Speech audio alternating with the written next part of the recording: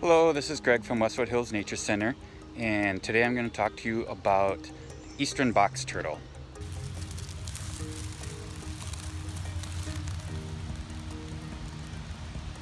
They can pull their head, legs, and tails into their shell if they feel threatened.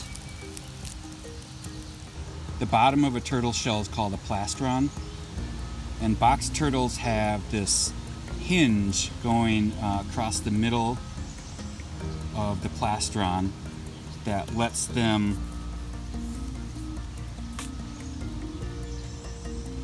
close up their shell so that they're almost uh, completely enclosed for extra protection.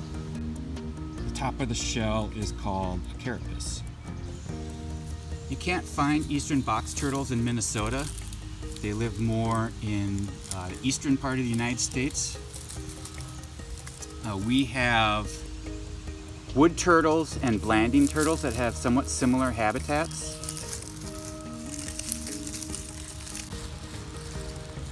They eat a variety of foods, including plants, fruit, insects, worms, small fish.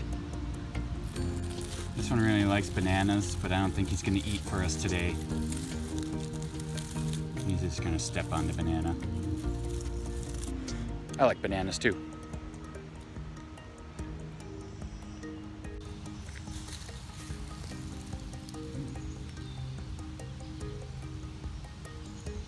Now how is he gonna get down though?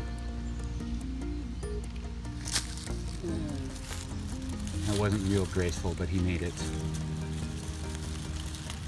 Thank you for watching.